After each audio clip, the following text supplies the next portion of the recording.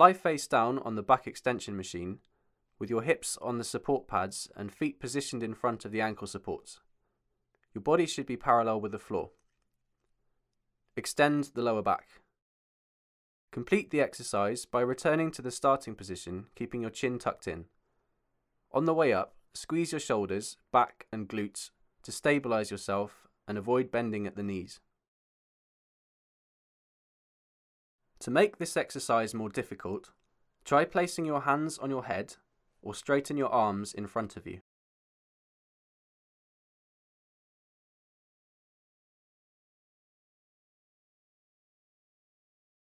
To perform the exercise on the floor, lie face down on the floor with your arms resting on your lower back or by the side of your head.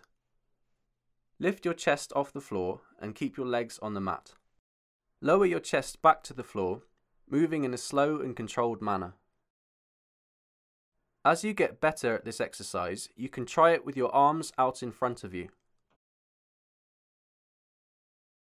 When using an exercise ball, you have to balance your body on the ball. This engages your core muscles. Place a Swiss ball under your stomach, if required placing your feet against a wall for support and to help you balance. Extend the lower back. Complete the exercise by returning to the starting position.